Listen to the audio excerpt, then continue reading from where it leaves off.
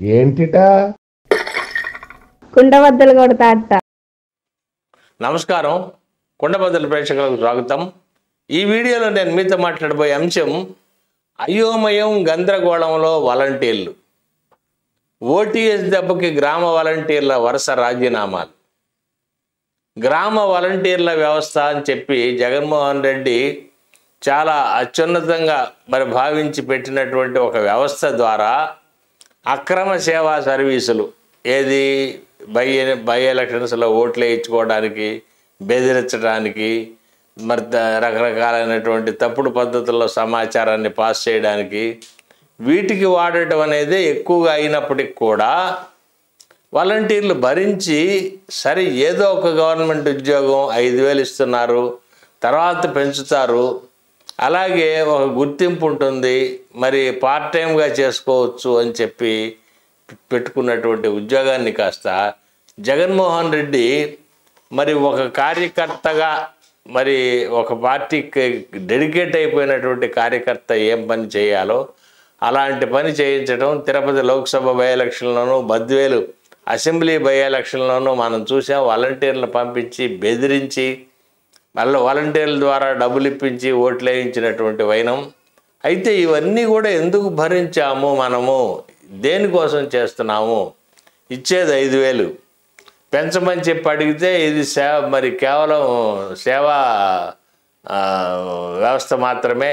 కావాలంటే మీకు సేవారత్న సేవా మిత్ర బిరుదులు ఇస్తామని చెప్పని జగన్మోహన్ రెడ్డి ఒకసారి బిరుదులు ఇచ్చాడు తప్ప డబ్బులు ఇవ్వట్లా. ఇప్పుడు ప్రమాదం వల్ల ఒక ఓటీఎస్ దగ్గర వచ్చింది. నలభై సంవత్సరాల నుంచి మరి ఎప్పుడు రకరకాల గవర్నమెంట్ గవర్నమెంట్లో రకరకాల ముఖ్యమంత్రులు ఇచ్చినటువంటి ఇళ్ళన్నిటికి కూడా ఇప్పుడు ఇరవై ఏళ్ళు కట్టి మరి రిజిస్ట్రేషన్ చేయించుకొని వన్ టైం సెటిల్మెంట్ కింద దాన్ని మరి పూర్తిగా మరి చెల్లించడానికి మరి వాలంటీర్లను కూడా ఉపయోగించి ఒత్తిడి చేయించడంలో ఈ ఒత్తిడిని భరించలేక కొంతమంది వాలంటీర్లు రాజీనామాలు మొదలుపెట్టారు. ఇప్పుడు అందరిలో కూడా ఒక ఆలోచన మొదలైంది. కేవలం ఐదు వేల రూపాయలకి మనం ఈ అక్రమ సేవా సర్వీసులన్నీ ఎందుకు చేస్తున్నాము? ఇంకా ఇటువంటివి ఎన్ని మన నెత్తిన పెడతారో? ఇప్పుడు బై ఎలక్షన్లు అంటే ఇప్పుడు అధికారంలో ఉంది కనుక ఈ ప్రభుత్వం మనం ఏదో బెదిరించినా వాళ్ళు వినొచ్చు కానీ రేపు సార్వత్రిక ఎన్నికల సమయంలో మరి రేపు పొద్దున ఎవరు గెలుస్తారో ఎవరు ఓడిపోతారో తెలియని పరిస్థితుల్లో మరి ఒ- ఒక పార్టీ తరఫున ఈ వాలంటీర్లు పని చేయవలసి రావడం అంటే మరి దాంతో ఏమవుతుంది? దాదాపు చాలా చోట్ల ఘర్షణలు ఏర్పడే ప్రమాదం రావటమే కాకుండా మరి రేపొద్దున ఈ పార్టీ కనుక ఓడిపోతే వైఎస్ఆర్ కాంగ్రెస్ పార్టీ కనుక ఓడిపోతే వాలంటీర్ల వ్యవస్థ పూర్తిగా గమ్ ఒక్కసారిగా ఎత్తేసే అవకాశం కూడా ఉంది. ఎందుకంటే రాజకీయంగా ఉపయోగ పనులు చేస్తూ ఉన్నారు కాబట్టి. అందువలన ఇప్పుడు ఈ ఓటీఎస్ దగ్గరే చాలా ఇబ్బందికరమైన పరిస్థితి ఎదుర్కొంటా మరి మా కొద్దీ వాలంటీర్లు అని చెప్పి రాజీనామా చేస్తూ ఉంటే మొత్తంగా వాలంటీర్లలోనే ఒక ఆలోచన మొదలైందని చెప్పి రాజకీయ విశ్లేషకులు చెప్తా ఉన్నారు. మనకి ఐదు వేలు తప్ప ఏం లేదు ఏ బెనిఫిట్ లేదు. అలాగే పార్ట్ టైం అనుకున్నాం కానీ ఇది పార్ట్ టైం కాకుండా ఫుల్ టైం పనులు చెప్తా ఉన్నారు. ఇవి కాకుండా ఎప్పుడు ఎలక్షన్స్ వచ్చినా ఏం జరిగినా మరి రాజకీయ పరమైనటువంటి పనులు అప్పు చెప్తా ఉన్నారు. అలాగే ప్రభుత్వ ఆదాయం కోసం పెట్టినటువంటి దుర్మార్గం స్కీములను సైతం బలవంతంగా వాటిని ఇంప్లిమెంట్ చేయించాల్సిన బాధ్యతలు అప్పచెప్తా ఉన్నారు. ఇన్ని చేస్తే మరి ఐదు వేల రూపాయలు తప్ప ఏమి బెనిఫిట్ లేదు. రెండోది కొన్ని పనులు వెళ్ళి ఇళ్ళకెళ్ళి మరి చేయవలసి వస్తే అది చాలా ఇబ్బందికరమైన పరిస్థితి గాను మరి అవతల మరి లబ్ధిదారులు కూడా ఏంటి బాబు ఈ దుర్మార్గం అని చెప్పని అడిగితే సమాధానం చెప్పలేని పరిస్థితుల్లో వాలంటీర్ల వ్యవస్థ విజయసాయిరెడ్డి చెప్పినట్టుగా మరి వాళ్ళంతా మన వీర సైనికులని చెప్తే మరి ఈ వీర సైనికులేమో కానీ వీర సైనికులకు భత్యం లేదు మరి ఉన్న భత్యానికి ఏమో చేయాల్సిన పనులేమో ప్రాణాంతకంగా ఉన్నాయి. అందువలన వాలంటీర్లు అందరూ కూడా ఏకమొత్తంగా మరి ఉపసంహరించుకునే అవకాశాలు స్పష్టంగా కనపడతా ఉన్నాయి. అట్లాగే చాలామంది రాజీనామాలు చేసి వెళ్ళిపోతున్నా మిగతా వారు కూడా ప్రభుత్వానికి సహకరించకపోయే పరిస్థితులు మాత్రమే ఎక్కువగా కనపడతా ఉన్నాయి. రేపు పొద్దున సార్వత్రిక ఎన్నికలు వచ్చే నాటికి ఈ వాలంటీర్లు ప్రభుత్వానికి మరి ఏమాత్రం సహకరించినటువంటి పరిస్థితికి మరి వాలంటీర్ల వ్యవస్థ వెళ్ళిపోయే ప్రమాదం ఉంది. ఎందుకంటే ఏదైనా ఒక ఒక వస్తువుని మనము ఒక ప్రయోజనం కోసం వాడేటప్పుడు దాన్ని సున్నితంగా నన్ను ఒక పద్ధతి ప్రకారం వాడాలి.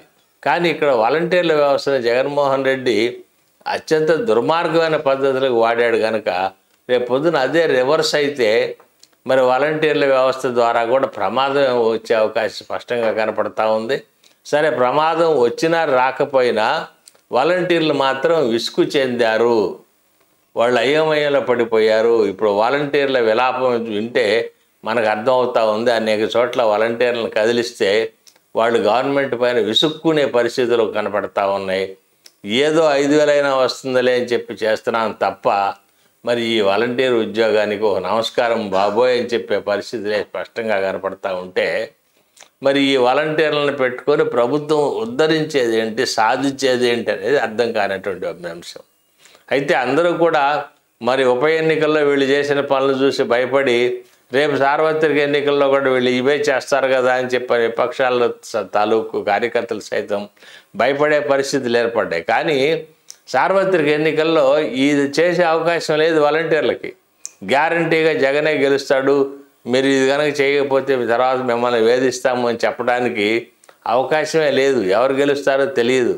ఆల్మోస్ట్ ఆల్ అప్పుడు ట్రెండ్స్ ట్రెండ్లను బట్టి ప్రజలకి దాదాపుగా అర్థమైపోతూ ఉంటుంది ఎటు ఎటు పక్కకు ఊపు ఉందో. అలాంటి పరిస్థితుల్లో కనుక వీళ్ళు పార్టీ పార్టీ తరఫున ప్రభుత్వం తరఫున కనుక ఇలాంటి పనులు చేయడానికి పోతే తన్నే పరిస్థితి కూడా వస్తుంది గ్రామాల్లో.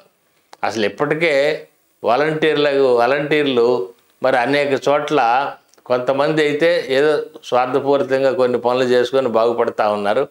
చాలామంది దీన్ని ఉద్యోగంగా భావించిన వాళ్ళకి మాత్రం ఇది ఒక గుదిబండలాగా వచ్చింది ఏర్పడింది తప్ప ఈ రోజున ముఖ్యంగా ఓటీఎస్ అది చేయాల్సిన ఉద్యోగులు రెవెన్యూ వాళ్ళు గ్రామాల్లో మరి పట్టణాల్లో మున్సిపాలిటీ వాళ్ళు అయితే వాళ్ళకి వెనుకెడతా మరి వాలంటీర్ని కూడా పంపించి వాలంటీర్ని కూడా ఒత్తిడి చేసే పరిస్థితి ఆ ఒత్తిడి తట్టుకోలేకపోతా ఉన్నారు ప్రభుత్వం చేసే ఒత్తిడి.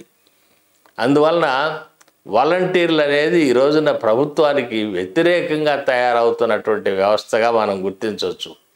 మరి ఇప్పటికే కింది స్థాయిలో పార్టీ కార్యకర్తల్లోనే ఒక నైరాశ్యం ఏర్పడింది అని చెప్పి అందరూ భావిస్తూ ఉన్న తరుణంలో వాలంటీర్లలో కూడా ప్రభుత్వం మీద విసుగు చెందే పరిస్థితి వస్తే ఈ వాలంటీర్ల వలన ప్రమాదం ఏర్పడే పరిస్థితి ఇప్పుడు కార్యకర్తలు నైరాశ్యం వస్తే కామ్గా ఊరుకుంటారు.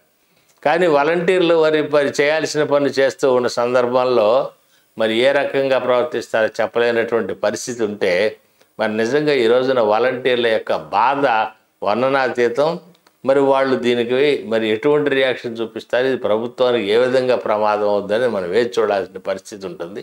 ఇదే ఈరోజు కొండబద్దలు.